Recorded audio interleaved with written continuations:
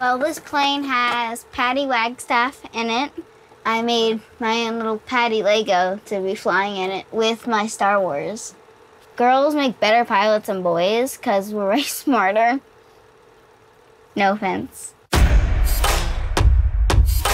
The view was that we had to be tough, and we had to be macho, and people expect, you know, they have this stereotype of what a professional athlete or professional pilot should look like. Why let someone else tell you what you can do and what you can't do, or let someone else put an idea into your head of what you can do? You're in control of that. Girls are taught to be girly and images that they can't live up to, and I think they just stop believing in themselves.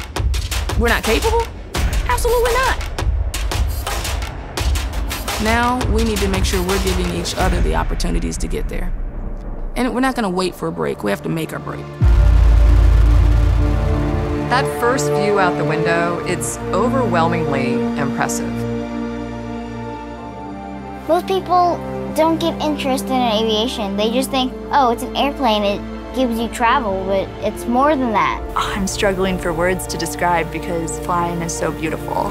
I could feel the aircraft accelerating and lifting off the ground, and it was so beautiful and so romantic. And from that moment on, I knew this is what I want to do the rest of my life. Don't be afraid to go be the only person there. Don't be afraid to be the first. You know, you might be the first person to do something, and that's okay. It's not the thing that you do for anybody else. And when people doubt you and don't think you can do it, just because they can't doesn't mean you can't.